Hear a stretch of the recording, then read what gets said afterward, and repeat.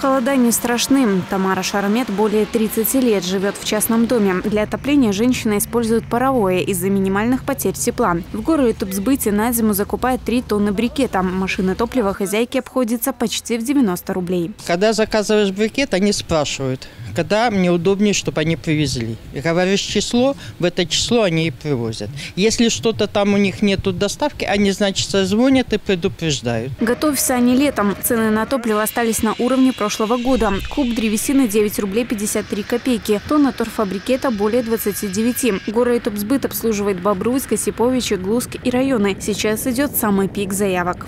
Дрова мы получаем от четырех поставщиков. Наш Бобруйский лесхоз, Быховский лесхоз, Осиповический и Глузский.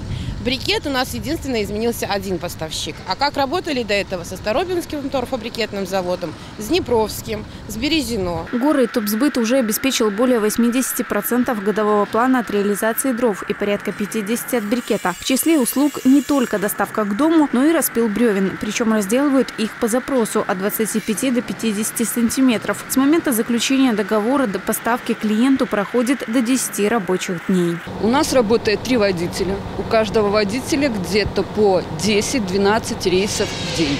То есть, э, как бы, человек 30 в день мы снабжаем топливом.